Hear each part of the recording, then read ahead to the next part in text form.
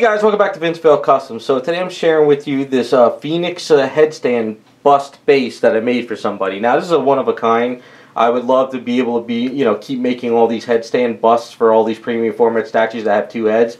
But the problem is, it's very hard to get your my hands on an extra head where somebody is willing to let me make it messy because you know you got to kind of use it to push into like clays and A's and stuff, and it gets dirty because you got to make the keys. And the other problem is to uh, sculpting, molding, casting, prepping, priming, painting, and it's just a lot of work for one person. So I enjoyed doing them while I could. It was a good learning experience, but I just don't have the equipment because I always borrow my friend's equipment. I can only do it in the summertime, but in the summertime I can only do large projects that need outside work, and it's just way too much for one person. So as much as I would enjoy keep doing them, I pretty much stopped making them. But every once in a while, I could do something like this for somebody with just like a one of a kind. Because this has kind of worked out pretty good. Because I was working on a couple projects this, uh, you know, fall and winter, and I was able to take the Catwoman premium format head uh, base that I made a while back.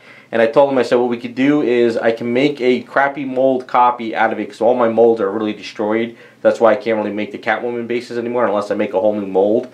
Uh, so what I did is I poured in, I made a mold, I pretty much chopped it all up, and then uh, from there I started resculpting it to fit the Phoenix head. Now, the other issue we ran into is he is all the way across the pond. I'm in the U.S., I think he's in Australia, so it's kind of very hard to you know, I wouldn't want him to send one both of his heads all the way from Australia just so I can actually use them to make a head base and then risk them getting damaged. Then I get them dirty because I have to use them for, you know, all the clay, uh, A's and stuff.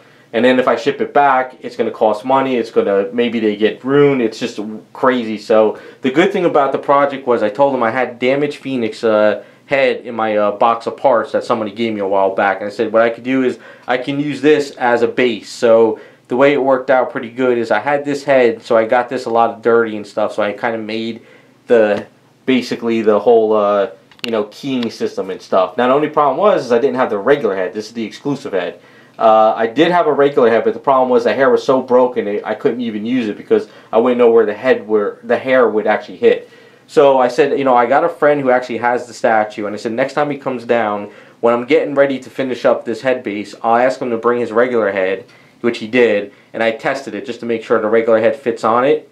And we tested it and it works out good because the guy says he's going to probably be using the regular head for this base anyway. So that's kind of what we came up with. So it was a little bit tricky to get in there. Uh, you know, doing this stuff, you really want perfectly good heads with all the hair so you can really line everything up. But you know, all the stuff that's broken off, it's kind of tricky. So I don't know if he puts the EX head on here if it's going to work because I'm not really sure where some of these extra strands would hit but I tried to give a lot of like room just in case because it's just one of those things. But other than that, it was uh, fun to do. It was a good side project. You know, this past uh, couple months where when I was ever in the garage, I could chop up that resin base. I could use extra A's. I can sand when I'm ever dirty. So it's kind of good to have some side projects like this once in a while. And it's kind of fun to do these too, just like a one of a kind for somebody. Uh, but it worked out pretty cool.